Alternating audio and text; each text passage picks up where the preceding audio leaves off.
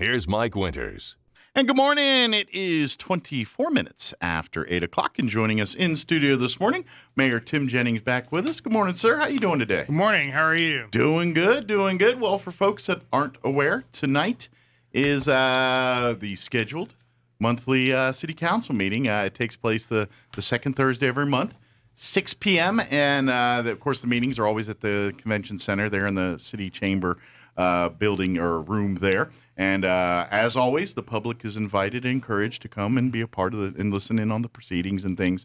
Always don't forget if you can't make it in person, you can always watch it uh, on the city's website, roswell-nm.gov. So so uh, you can watch and hear it for yourself. But uh, I'm thinking right now we're sitting here in June timeframe. I, I guess you guys are wrapping up budget talks and trying to finalize and putting the dots on the i's and j's and all that stuff to to get the budget uh, sent up to Santa Fe, right? Yep. Yeah, we were elected March 1st, and the city had their budget hearings. They didn't want to have uh, their staff in when they put their budget together in March, and then so we started in office on April 1st, and we first thing we had to do is do a budget, and for half the council that was a little bit different because everybody was new. They Sure. were new, and so And sometimes, uh, if you're not well versed in government finances and stuff, it is a little different than household or business budgets. they have and they got a, so a learning curve there. A little yeah, a little different lingo. Yeah. and you know the methods of operation. It's, uh, I mean, to me, this seems ex- uh, this is a new process. It seems extremely slow because everything has to only meet once a month, and everything goes through a committee. And, and Sure. we're looking with uh, there's 794 pages of paper Oof. that are in our agenda that we discussed today, and. and That's You a, literally a, an epic novel. yeah, and, you know, at some point in time, I think we need to restructure the council. I, I mean, you've got five committees with four people on it. Gotcha. Well, four is, you know, things are two and two. Now, what happens? And, and You need an odd number there to get so a at least decision coming out.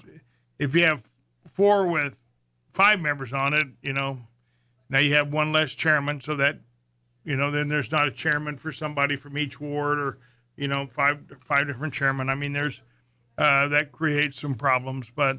Uh, Uh, and, and quick question, you know, when we talk about some of these committees, are these committees that are just city councilors, or are these some of the committees that include city councilors and members of the public and other? Because I know they've got both. Uh, yeah, this is just these are just members of the of the council. the city council committees within the count. Gotcha. and we have some other committees that we're we're going to do some appointments on some of them, but you know, even then, might like the airport committee, and I made my appointments, which I'm, you know, supposed to do, and uh, some of them have to be go back before the uh, committee that uh, that they're overseeing, or that they're like the air has to go back through the uh, the buildings committee or whatever for for airport or public safety. Some of them have to go back, some of them don't. Just Gotcha. Depends how they're set up, and Gotcha. so that's real different. So our airport's been delayed another month. in Getting getting them together, and uh, there's a lot there's a lot to do. But you know the airport is is uh, with a 70-30 plan that we have. I mean, it's it's very difficult to to get in there and understand it. Why that if you have a group of people that want to do a march for hope for cancer, Sure. and you get every every economic level of people in Roswell wanting to do the march and, and all the different minority groups, everybody is in there and they all want to do a march and then we have to come up and figure out a way to pay to use the facilities and everything. So then all of a sudden then that gets to be expensive and and you have to pay for policemen and everything else. Well then then the money's not going for Walk to Hope to stop cancer Sure, like we've, we've done for years. Now it's all of a sudden it's going to pay for the policeman Sure. and uh, you know uh, it, sometimes this the 70-30 concept is is difficult to understand why everything has to pay its way. Gotcha. why was the why was the drag strip paying $500 a year? Now nobody out there gets a salary for anything. Anything that they made at the drag strip goes back into the track. Mm-hmm. everybody volunteers. And then they're they went from that. I think they said what they told me went from $500 a year to $19000 a month well there's you know I mean, there's no way that works. Well, and and and and the, to the public, that looks like the city just wants them out because they've got plans Yeah. for that land. I mean, and I don't know if that's true or not true, but the writing on the wall certainly looks that way. You know, and I mean, from an outside looking in, that's Yeah, well, the that- perspective we have. You know, one of the things on on on them that was one of the things that they were told that uh, they had other people wanted the land mystic wanted the land or something and then when we had that public hearing on the rate increases at the at of rent out there they said we don't want your land so just who knows who's telling who the truth sure.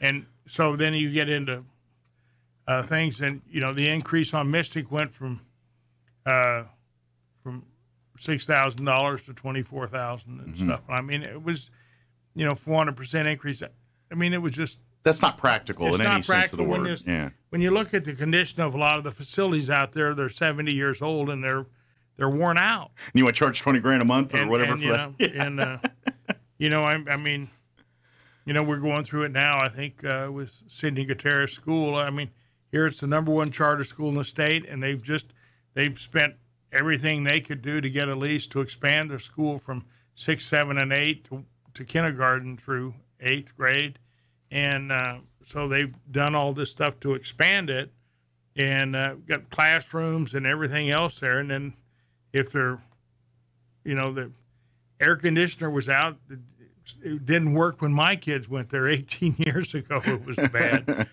And all of a sudden then it's uh you know they want to double their rent and everything else. Well they spent all the money that they had to get to get uh the other portable classrooms and lease all those classrooms that are out there so Sure. they can expand the school uh it's the number one charter school in the state and and by far i mean it's done very well Sure. So it, it's something. So i- i- is is it looking at this 70-30 rule and and Well, and, and reworking it? Is that is that the fix you Well, I- think or Well, I don't know. I, I just, you know, it.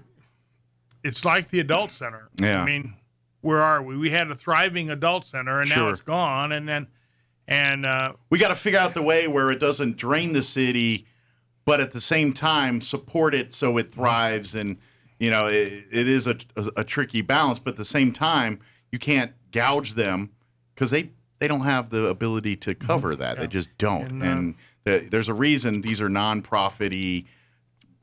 Mom and pop stuff. I mean, Sidney Gutierrez, Yeah. is, but You you know, know, what I mean. But it's it's you're you're, you're it's hand to mouth type budgeting and things like that that's going on at both of these situations. And and uh, to just slap a all right we're going to charge you 500 oh and by the way now we're going to we're going to increase that about 10,000% on you. And I'm just throwing a number out but You know, and- but you know what I mean? It it, it, it that's not feasible for anyone. And and I understand that the city has to money. You know, we got we got to we got a budget. We got to spend here, and you know how. But I think we don't want to sabotage things we know are good and successful because you know what I'm saying. It- yeah, you know the, so that's the trick that the city council has to figure out. whether it be a drag strip or whether it's people exercising and, Yeah. and uh, all those things are different things that add to the character of your community which Sure. uh, it it's very diverse and diversity always leads to greater understanding and Yeah. greater uh, greater little uh, uh, little nuances that, that make your town attractive to other people. And so that, that stuff's it's real important. And you get people exercising keeps them healthy and you know they go they used to go perform at nursing homes and stuff like I mean you know it's just stuff that makes your town gives it class and character Sure. Well, and and, And- and this is the kind of stuff that attracts more professionals to our community. You know, the hospitals, law enforcement, city, everyone's looking for more qualified people to be a part of their ranks. Uh, they look at when they come to Roswell, they look at things like what what's available to do, what amenities they have, what's the crime rate look like, how schools look like. These are all factors people weigh when they come to meet, and so. So when you take away or detract from those, you're hurting the big picture. In, in, in you know things. it, in the museum we have a clay studio and the director's been there for 40 plus years and had a contract everything was fine and all of a sudden now we have to make her an employee now you know i don't know how all that happens all of a sudden but you know everything was fine Mhm. and uh, you know it just in in that museum charging people it's uh so we we did work at the zoo, and then, but then uh, because we locked up the zoo, and and in that we locked up the uh, the, the pond over there where kids used to go fish and charge them to go fish now. Well, before that, the state would stock it if you didn't have if you didn't have it locked up. If you have it locked up, then the state won't stock it. So now we have to buy the fish. Okay. And it was, are we going to, uh, when you look at all that, are, are we better off having the state stock it and having people fish whenever they want? Uh, Well, and I think what we could do there is you get various agencies along and you turn those into fishing clinics and all kinds of other great things. You know what I mean? It, that uh, that don't that maybe could generate some money to help offset some of that cost. You know, I mean, there's there, you know, and I get, you know, it, it is a tricky balance because. You know, there's probably people that never go to these facilities and have a, a mindset of why should I pay for something I don't use, but at the same time, you don't want to price these things out where no one's going to use them. So where's that balance? And we got to kind of figure that out a little bit. And that's and and to be honest, is there a right or wrong answer? I don't know because should should people that want to use it regularly invest something in it? I could see that argument. But mm-hmm. do you want to make it so pricey that now they're not going to utilize it anymore? No, you don't want to do that. How do we find that balance? And that's that's really the the big issue here, you know. and it, all the way down to little leagues and everything else. Absolutely, Soccer leagues, yeah. what do we charge to use the parks? And Yeah. And you know, I know when we developed that park, the like the soccer park, we it was set up and designed the way it was designed so that you moved the soccer fields every year. You moved them like seventy five feet over, Mm-hmm. and so when you did that, then you kept the ground in front of the goals from being depleted of grass because that's where everybody plays and and packing so hard uh, when you just moved them. But now we haven't moved them, you know, for a while. So So they'll probably now, do a moving. Now they're we have it all the all the grass is dead and stuff. So then you got to replant. Reseed. Whereas before you So could have. It's kind of like a farming with it. concept where you rotate crops and things like that to keep the. well, you know, yeah. and that's just what you need to do. Just move them a little bit. yeah. and you have to restripe the fields. But they had, I know, originally they had them all set up to where they were on a line, and you you could just move them over, uh, move everything seventy five feet, and you get it off the playing area, and you know, and then in a couple years you move back, you know, and uh, seventy five feet one way, seventy five feet or 150 back the next time, and then So they stopped back. doing that, I guess, or Yeah, they I'm haven't I'm, done it, I'm so- guessing COVID may, but who knows? I mean, Yeah. they blame everything on COVID if you want, I guess. But Well, no, that's not COVID. That's just manage. It's management, lack of management. Gotcha. Gotcha. So, yeah, so it's so really it's we talk about, you know, the money for the resources, but also being good stewards of said mm-hmm. resources is, you know, it's designed a certain way. If we're not doing it that way, we're shortening the life of it here. And so we got to balance, take care of what we got, but at the same time improve and provide a way. And it, and it's a tricky that's this is why, you know, there's a light of lightning rods when you're the Yeah, mayor and city there's a lot. council because because it's these are and and you talk to 12 people and get 12 different answers on how you should do this so um it, it's it's it's that's this is why these city council meetings get pretty long i'm imagine Well, yeah. We, hopefully, we can get through them quick. sure You know. um so let's uh while we got a chance is there any uh like a couple item things that we definitely want to make sure we we spotlight for tonight uh i know a lot of it's gonna be budget talk here but a couple of things on the agenda we want to make sure we let folks Yeah. know about we have a lot of public hearings on uh, items four through. Uh, let's see what number that is. Four through twelve are for uh, public hearings, and and those are on things like liquor license for Texas Roadhouse okay. and La uh, La Grande Victoria on 401 North Richardson. That's a little restaurant wants to have a uh, liquor license there to serve beer. Okay. And uh, we have a lot of those coming up on and then, then we have some marijuana um, businesses there that are looking for And- uh, approval so they can And for those businesses, this is their last phase, right? Once if they get a green light tonight, then they're they're free to do their thing, right? Uh-huh. Gotcha. I know we've got a couple that have already gone through that system, but we got the next batch that'll go before the city council tonight to get those. Yep, and then we have some resolutions on cleanup on uh, on different properties that we have there that are uh, dilapidated and need to be cleaned up. Uh, we had some things on the lodgers tax that went through on um, uh, with the using some of the lodgers tax money, which are kind of interesting. I know we we're looking to put four thousand dollars uh, to reimburse expenses on uh, trying to get the Wool Bowl back up and running with a junior college. Uh, uh, football game, which might be that would be an interesting deal Well, if we can. Get and MMI has been playing. They played some of their games, uh, on most of their home games, actually, in the Wool Bowl last year, and and I think they're looking to move the Broncos as that to play all their games. I mean, home Yeah. games on Saturday out there. So yeah, that that'd be a nice thing. And uh, by the way, if y'all looking for a fun game to go to on a Saturday afternoon, go check out an NMMI football game. I mean, they're the national champs in JUCO college. Mm-hmm.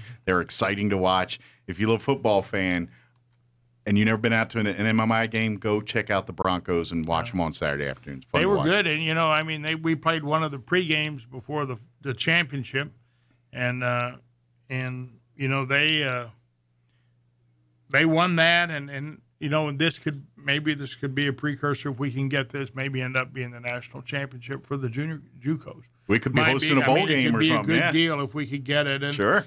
and uh, you know, it's funny that the the women came in national. They were runner up in volleyball and, Mm-hmm. and the football team, and we and the team that beat we beat that beat us in volleyball, we beat in football. For so and uh, The they- small circle sometimes, right? yeah. and I was talking to the general. He said that out of their championship team, that uh, I think he said 24 of the students that were on that team had a contract to go to a a, div- A d- a Division I school? division- Division one school, uh, or it's amazing.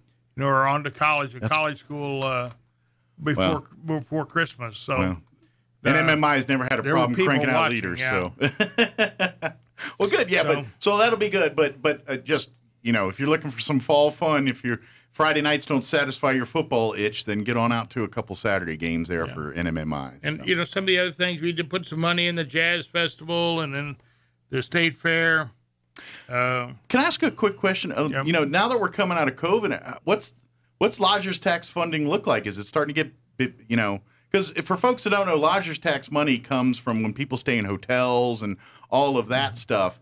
Um, did COVID dip into those numbers at all, or, or Well, it- did they stay pretty steady? it, it's it's hurt us on on people traveling and stuff. So that's that's hurt us some. And then we, you know, we pledged a lot of the money that used to get for lodgers tax. We pledged more of that money to remodel the convention Mm-hmm. center. So we've got so that cut into the funds, but we are getting some some money back. But it's starting to people are traveling and things, so it's starting to replenish here. Pretty Yeah, and good. you know they put some money in the uh, tr- Bottomless Lakes Triathlon and the in the state fair, the Roswell State Fair, which is our oldest fair in the state. Mhm. The Roswell Symphony. So, you know, we we put some money back in into some of those areas with Good. that, and then I'm sure they're very thankful for those. well, let's hope so. Because No. uh, you know, for some of these organizations, that's the difference between ha- ability to have it and not have the event. So, yeah, I mean, in our, in our some of our new business, we have some uh, discussion on the uh, Chisholm Park, or it's on Virginia. It's that the old Chisholm School where they're putting in a park, and uh, we have another thing with uh, some agreements with economic development and uh, corporation, and uh, we have to look. I think we're going to do something on the uh, where to put the rocket. I think they. Uh, Oh, the old slide. yeah, The old rocket slide, yeah. where that's all, where we're going to put that. So we have a couple uh, zoning cases and things we're going to work on on that. So Okay.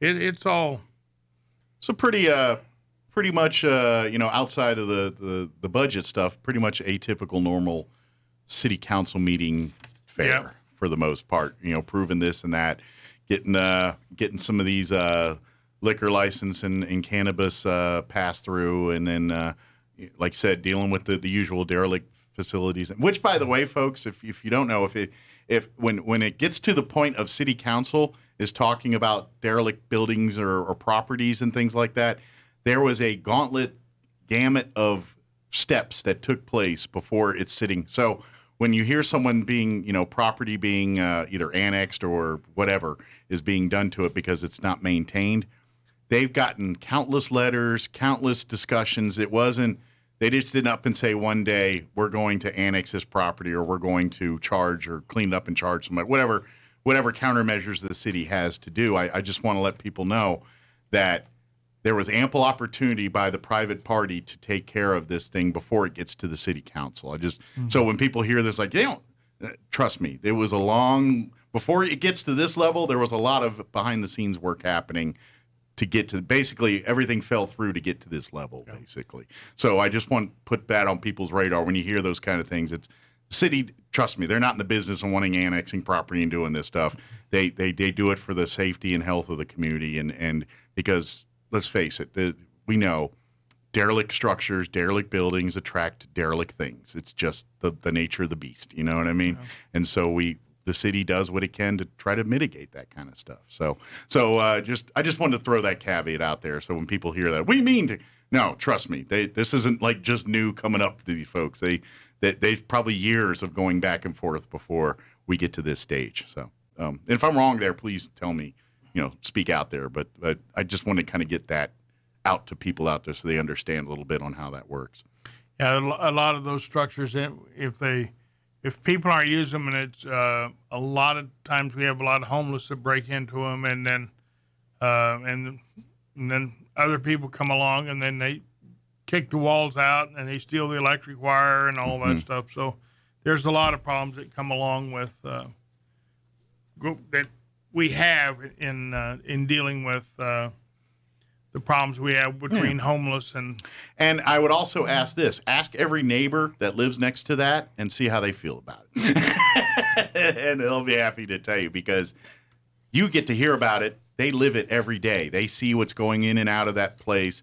They see what's going on in their neighborhoods, and they don't want it. And uh, and if it was your neighborhood, you wouldn't want it either. So um, understand that. Yep. Then we have some appointments to boards and commissions for parks and the library board and Good deal. keep Roswell beautiful and planning and zoning. Any fun stuff tonight? We honoring anybody? I know a lot of times they start No, out and get uh, you know a, a youth group winning something or uh, a group of people doing some. None of that tonight. No, we just need to get through by, hopefully, get through before midnight. Well, hopefully you get to. The meeting will end on the same day it started. Uh, let's hope. But no, it's uh. So Good deal. So it sounds like full slate again, folks. Uh, the meeting will take place tonight at 6 p.m. It's going to be at the Roswell Convention and Civic Center there in the City Council chambers. Uh, the public is more than welcome to come and be a part of the audience to watch. If you do like to speak, um, the you sign up beforehand, and uh, at the appropriate time, the mayor will give you the floor to, to speak if you'd like to speak on a particular topic. Um, and if you're watching online, there's a if you go to roswell-nm.gov, you can watch. If you don't have time or you know got the kids and fixing dinner and want to put it on the background, what's going on, you can go to K. Uh, sorry, that's our website, roswell-nm.gov, and uh, you'll find the link there. Also, there's a go-to meeting link if you do want to comment uh, through there. And again, you fill out, and at the appropriate time, the mayor will will bring it up and call you on that stuff. By the way, I got to ask. It's been a while for you know because they've gotten high tech back there with buttons and everything. Uh, Are you learning all that stuff, or is it you need an assistant to help you with all that there well, you know, we, we've got a deputy clerk up there that can is pretty good at directing. Good, because I um, was because I see it. I'm like, man, that seems kind of confusing. I, I'd be I, like, I run a radio board. and There's a lot of buttons to push. I imagine at some hmm. point you're trying to run a meeting and talking. Oh, by the way, I got to hit these buttons and this button and that button. It gets a little, it, it could get a little muddy. I think. Well, me, it's but- it's a little different when you have something. It's a resolution or ordinance, and eh, they all have little different rules for each one. You Sure. have to learn all that. So yeah. Well, good. I'm deal. a little slow, but she she keeps me straight. well, that's why those fine employees are there to keep guys like uh, yourself and city council in line. There. yeah, So. we're we're in good shape. well, thank you, sir. As always, appreciate the visit. Uh, unfortunately, Mayor can't make it tomorrow to join us, so we'll we'll we'll uh, we'll we'll uh, just kind of get your recaps down there. But um, hopefully next month we can get you in on the Friday, and we'll uh, we'll we'll see uh, talk about the good and the bad, the ugly, what comes out of that meeting. So, although come this time tomorrow, you might still be uh, looking at the back of your eyelids if this meeting goes late. It could be. It's real possible. well, thank you, sir. Appreciate Yeah, you. We'll, uh, we'll we'll see you next time. All right. Bet. All right. It is eight forty.